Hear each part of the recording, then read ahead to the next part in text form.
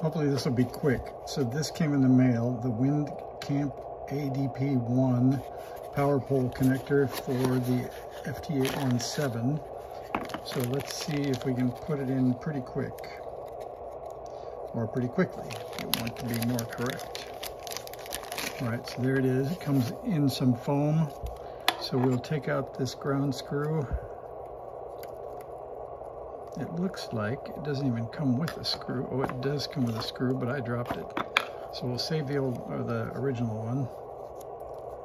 And here is the screw that comes with it. There we're in. Okay. So the cool thing is this one is molded in, so all I have to do is push it in and put in the screw. And I've heard some say that they grind the back of these so that they fit tight.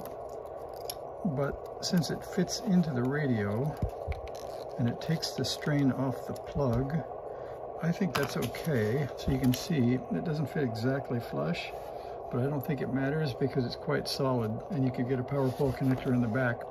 I hadn't used these until about two weeks ago so I'm moving radios to them because they're actually pretty convenient just to slide a connector in there and be done. So there you go. Thanks for watching.